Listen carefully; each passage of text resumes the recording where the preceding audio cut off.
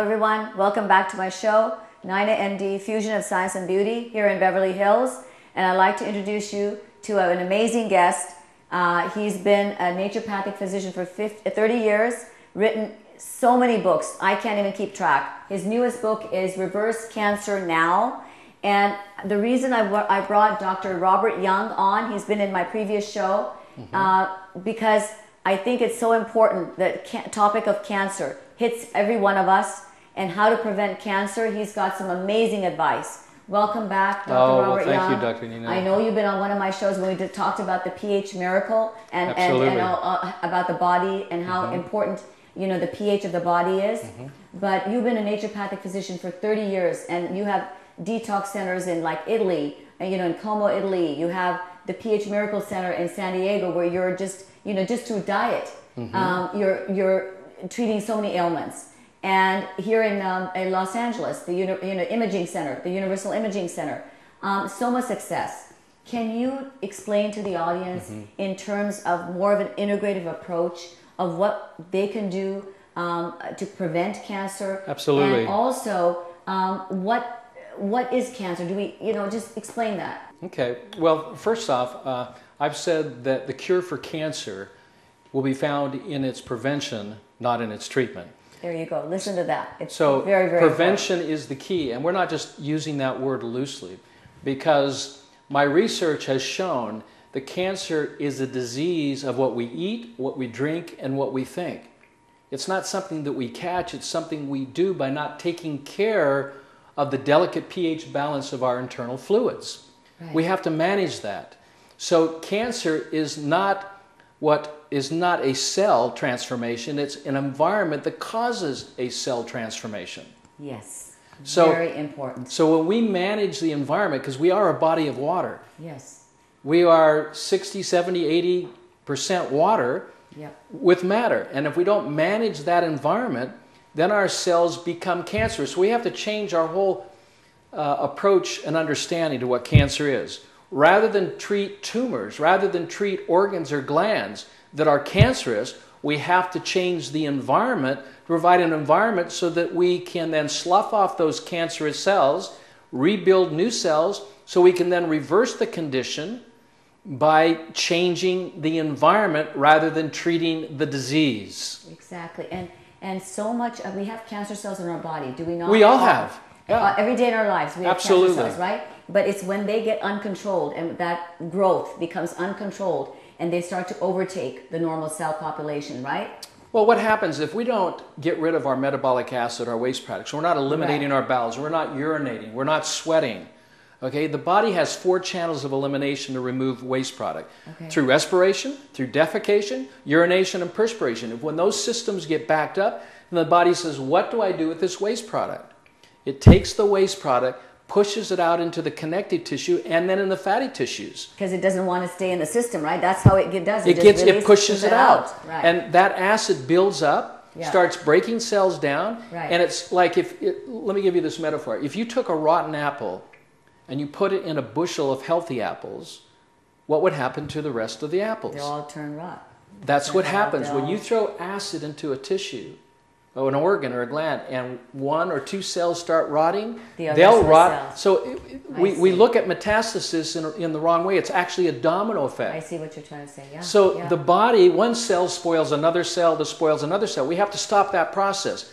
So our treatment protocol opens up the channels of elimination. Is that why there are certain miracle cures when people say, I just changed my diet? Because they change the environment, right? Okay, so you probably remember Kris Carr. She was on the Oprah Winfrey Show and yeah. she's been on the Dr. Uh show. Yes. She's written several books. One's called Sexy Crazy Cancer. Yeah. She's my patient.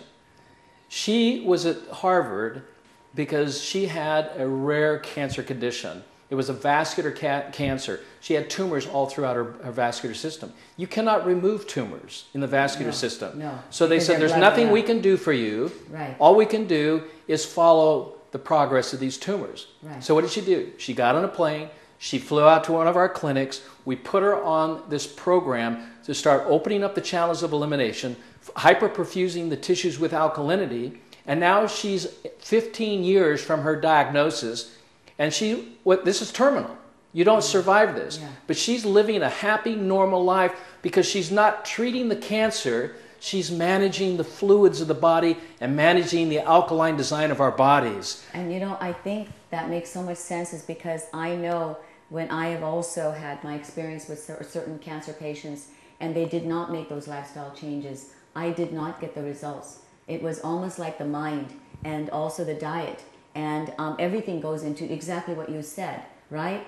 Um, if those are not, if, if all of those things are in, still imbalanced, and what I don't understand, explain me this, is yeah. when we have patients who actually have the cancer, they have to have chemotherapy to get rid of the tumor burden, okay? They go into the hospital, they're given all these treatments and to, to kill the cancer cells and so forth, and then no sooner do they, they're in the, in the hospital, the, the people ask, what do you want? And they're given pizzas or they're given, just let them eat what they want. Pizzas or a Big Mac or, um, or, or uh, you know, just a cup of coffee. cup of coffee or fried foods. Mm-hmm. Can you explain what, where's, what's happening here? Well, There's number, a disconnect here. Well, number huge one, disconnect. There's a huge connect, it can, uh, huge disconnection. Why are they? Why are the hospitals not giving and, and mandating that, okay, these are the beautiful choices of foods that you can have. We will make it appetizing for you, but this is the choices that you choose from.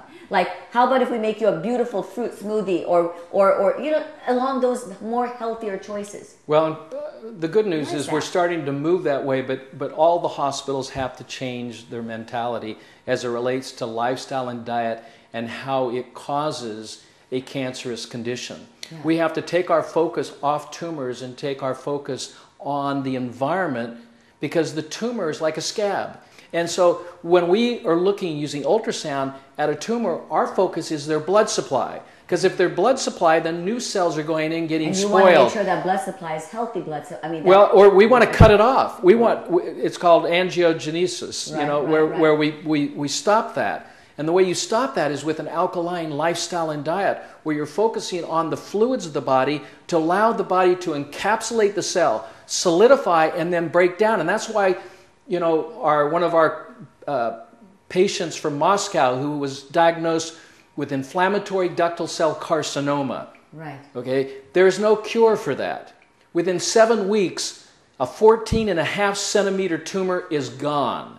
And the reason so, why we're not extracting the tumor, we're providing an, an environment that will allow the tumor to solidify and then break down. So that's for the tumor, but also to provide a healthy for the normal cells, right? Absolutely. So it's doing the, both. So you're doing, but you're providing an environment where you're increasing the circulation and all, but by doing so, the normal cells survive and they're getting all the nourishment they need. But then that same nourishment that the normal cells need is the very thing that the cancer cells don't need, and that's what causes the, tum- the tumor cells to, to die. And that is why, in recent published research, that when you use chemotherapy and radiation into the body, you increase your risk for metastasis by 30 times. Wow.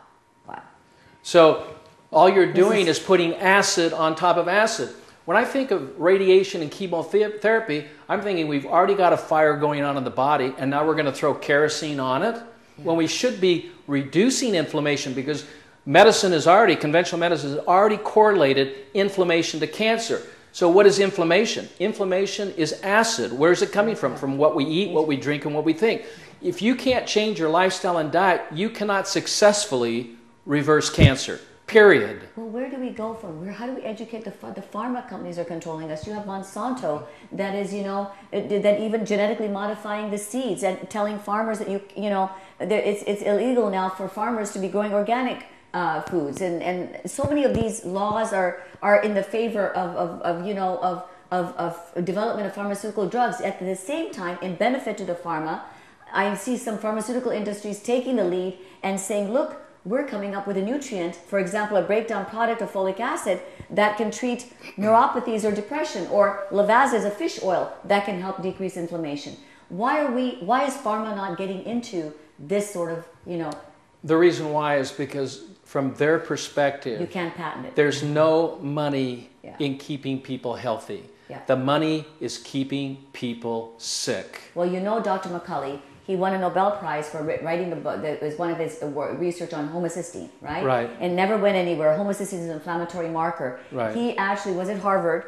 and he was doing his research and, and he couldn't get funding so he ended up having to go somewhere else to finish the, all of that research because there was really no money into discovering that really uh, the homocysteine could be uh, due to not you know breaking down your folic acid properly mm-hmm. you know well and so, you have that. and i agree with that but when we come back to the basics you have anyone everyone has within their yeah. power yeah.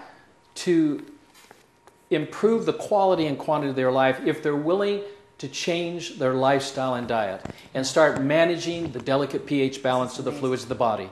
It's that simple. The, the cure for cancer, the self cure for cancer, was, is within you if you understand the principles of this pH miracle, which is a natural phenomenon of understanding the cause and effect relationship. What causes cancer? Acid. What causes acid? An increase of acidic lifestyle and diets. Our thoughts, our words, our deeds. You know, if we're stressed, if we're depressed, that requires energy which produces acids that can make us sick and set the stage for cancers. We have to be able to manage that. Yeah, yeah. What do you, I know in the last show you said instead of an apple a day is an avocado a day. Absolutely. The doctor away. Okay, what in this segment, what if, uh, and it's so difficult, I know, because there's so many good foods and so many, so many foods we don't want to limit, but what another food, let's say in your diet that you incorporate? Uh, on, life, an everyday life, basis. on an everyday ba- basis. Uh, what do you all, do on an everyday basis? Get For breakfast, know I will, I will take spinach, parsley, celery, cucumber with ginger and turmeric. I'll blend that up and make a shake. Okay. Okay. Another thing is I'll juice them and have a juice. But most of my food, particularly if you're sick, you cannot eat solid food. You want to use that energy to make new blood and make new body cells. So you want to puree or juice your food. And Can I, you add a little bit of fruit? To you can add uh, the fruits that I add would be coconut. okay, like from like a pineapple or, or if, let's if, say if apple? yeah if, if your pH is good, if you're not in metabolic acidosis, if you are, then you're going to have to eliminate the high sugar fruits. But things like grapefruit can be added. Okay, uh, berries can be added, strawberries, blueberries. Okay. Okay. but the high sugar fruits like pineapple, you know, uh, bananas. You have to be okay, you have to be a little bit careful. Uh, even though they're high in potassium, well, guess what? Avocados is higher in potassium, and potassium is the alkalizer of the body. So you have to watch certain fruits, and I talk about those foods in my book, The pH Which? Miracle. Is this is this one. Yeah. This is this one. This is Yeah. the pH miracle. And this is the one, Reverse Cancer Now is your latest book, right? Latest book, And, and- this and- is about changing the environment in your body. You have the you have the ability to cure the cancer within yourself. Okay? It's this is a self-cure, yeah. self-care program. We empower you. You have the education and the power to, to change your, the quality and quantity of your health. Well, listen, thank you so much. How do people look you up? How do they come to your website? Is it the phmiracle.com? That's one of my websites. What's The other the one other is phoreveryoung.com. I love it. With It a PH. Yeah, instead of an F, it's phoreveryoung.com. So- so spell it. P H O R E V E R Y O U N G. Forever Young Got with a. PH uh, substituting the F. But Forever Young, uh, I have a great blog, over 3,000 articles. I I love giving things away for free. My knowledge should be for everyone, it should be available to everyone, and it should be free. It's about changing lives and saving lives. We're really, this is a health revolution, you guys. We're trying to uh, really start here. We're going to start it here in Beverly Hills. It's going to go global, and um, and people like you are, are just the, the you guys are the pioneers of something like this. You have been my mentor. You, I look up to you in terms of just the diet and the knowledge that you have. It's Thank amazing. Um, so thank you for tuning in. Naina MD, Fusion of Science and Beauty.